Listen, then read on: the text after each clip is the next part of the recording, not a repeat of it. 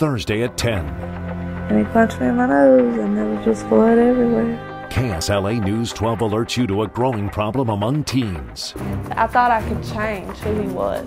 Teen dating violence. I'll alert you to this dangerous trend and show you the warning signs to watch out for.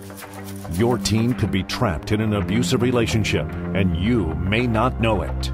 Uh, they think that that's their normal. Don't miss this KSLA News 12 alert Thursday at 10.